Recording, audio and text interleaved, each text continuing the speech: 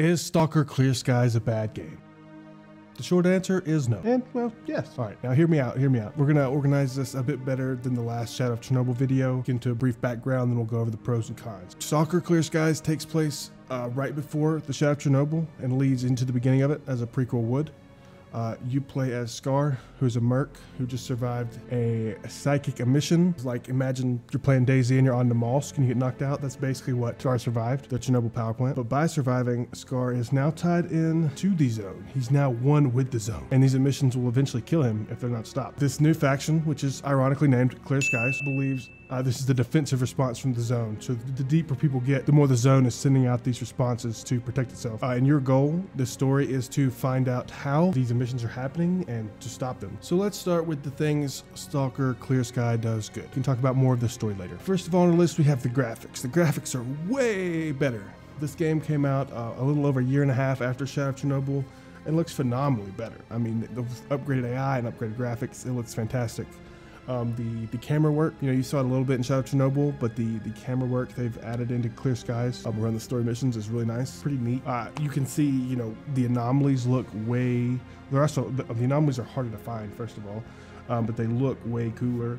Um, you know, the water effects, the rain, the lightning. God dang, the lightning looks so good in this game. It looks fan fucking tastic for a game that came out in 2008. Another thing I really enjoyed about Clear Skies is um, just to see the friendlies set up in different places, like friendlies in Agroprom and the, the building, the military building, uh, or the re- sorry, the research facility uh, just looks so much cooler. And the swamp, golly, the swamp, the, the, the Clear Skies HQ and the swamp on the bottom left hand side of the map is very cool. Um, it's an awesome addition. You can have a lot of cool fights there, as well as Limansk. Limansk was cool. I didn't explore it probably the most because, you know, that's the end game. Can't turn back, so I didn't explore it as much as I could. Dip dive through a bus, and that was frustrating. But back to the positives, back to the positives. The hospital set piece, much like Shadow of Chernobyl, um, I like the the in-game set pieces. This one not quite as much, but the hospital fighting through the hospital was really cool.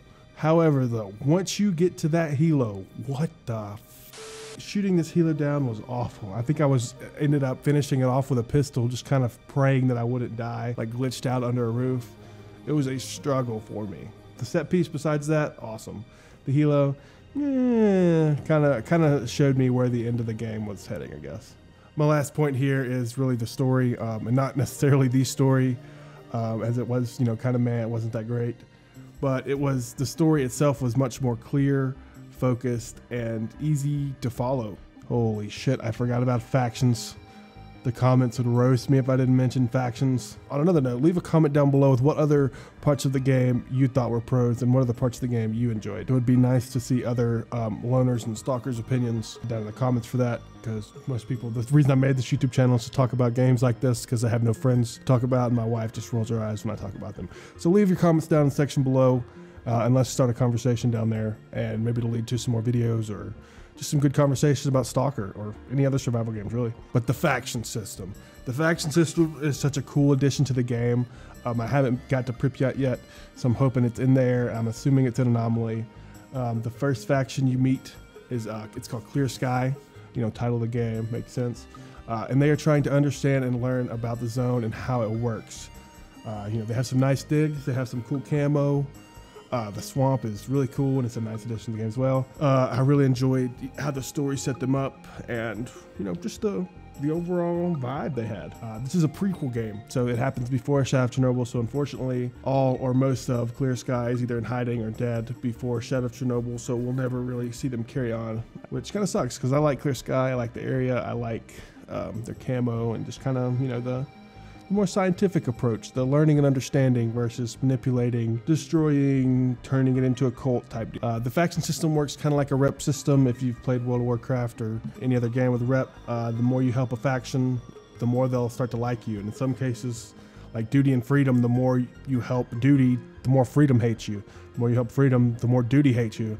Um, in those cases, you know, if you say on my playthrough I help duty a lot, freedom would come kill me if they saw me um, and I would kind of lose access to those missions, which is kind of it was really cool. And I'm not sure if it was revolutionary, but it was pretty neat. It's pretty neat for the game.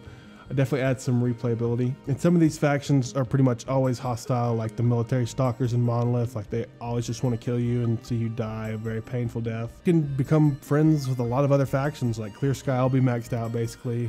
The bandits will always be bad, but you know you can become better friends with mercs. You can become better friends with loners. And uh, one last thing I'll touch on here is just weapons. Clear Sky has 42 weapons with seven variants. Uh, a lot of these are from Shadow of Chernobyl, but like the RP-74 is cool. Um, the hunting shotgun, I think I used a lot or used the most in the early game. Um, the Browning pistol is in there as well. What the fuck were they thinking with the ADS of the pistol here? Like, you don't even get irons. You have like this weird. I like to play with the uh, called the reticle, the crosshair off, and you're point firing the pistol. Like, what the frick is that, man? Where's the ADS at? I'm trying to be accurate. This game already is inaccurate when you when you shoot. You know, you learn that in Shadow of Chernobyl. You know, you're not always going to hit every bullet. The bloom, I guess, or the spread of bullets is just absolutely insane. So where I need my ADS? Where's it at? Not in Clear Skies. That's where. All right. Well, we kind of kicked off the uh, the cons a little early here. So let's just continue on, and we'll go with the insane amount of bugs. Uh, they were never ending. It ended getting me killed a couple times, more than I'd have thought anyway, especially from this game being a sequel, I mean prequel. It seems like the upgraded AI and graphics came with a lot more issues than they noticed, but I mean, this game was rushed out. A year and a half isn't a long time to make a game, so I'd understand some bugs, but man, there's there was rough. Shadow of Chernobyl, I guess I got lucky and didn't see quite as many. You know, I still died through walls, you know, still got killed by some weird stuff, but man, this game would have me stuck in trees, stuck in rocks, getting shot through who knows what. The next con I have in my notes here is missions that could be seen as repetitive and then wrote nothing about them so i'm not real sure why i wrote that. Uh, did you feel did you feel missions could be repetitive?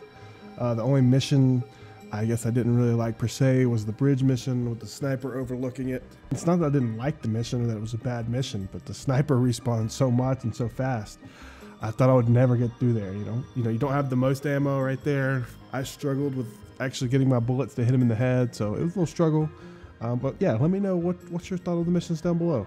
My ma- my last complaint, and this is a major one, is the damn ending. I got this in all caps. Why the heck did Clear Sky just do this awesome big push where everyone dies just for you to shoot Strelok with a railgun? The overall chase with Strelok was pretty neat. I enjoyed it.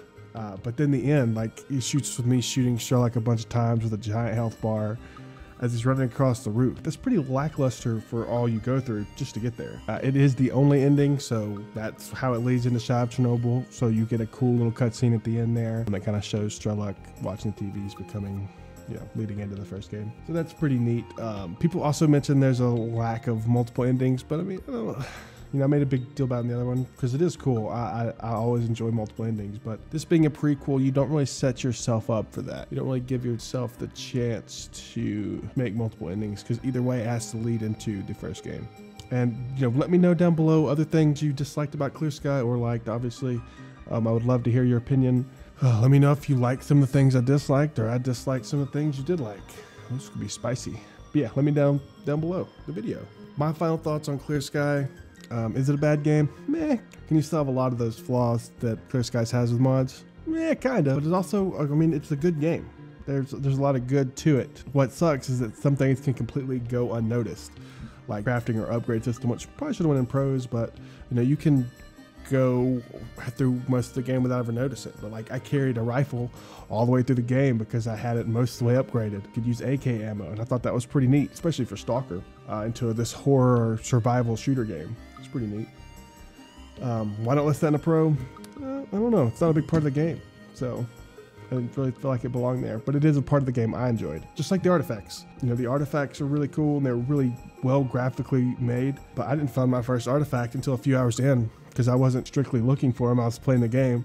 Uh, and I only ended up finding a couple of them. I'm not asking for them to be quite as easy as Shadow of Chernobyl. I do like they made it harder, and you have to have the uh, like the gig tool to find artifact, but I would have enjoyed a mission or, you know, just like these guide missions. I would have enjoyed a guided mission on how to find one and maybe the guy explodes or something and that's how you get your first artifact. That could have been cool. Could have been a well done mission on the dangers and how cool it is to, to go artifact hunting. I think in Anomaly I'm going to try to do that a lot. Maybe in Pripyat, honestly, if they're cool.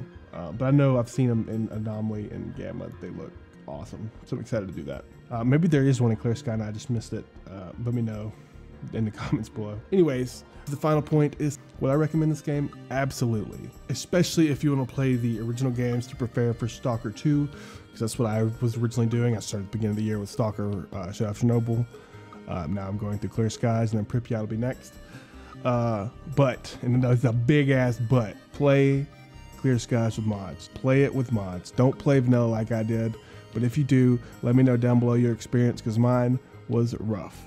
Either way, let me know your thoughts on this video down below. Uh, I'm trying to get better doing this. I would love to make some good videos so we can have some good conversations about the games I enjoy that I can't talk to with anyone else. Uh, and hopefully you can do that here as well. Uh, thank you once again for joining me on this trip into the exclusion zone. This is Loner JB. Good night.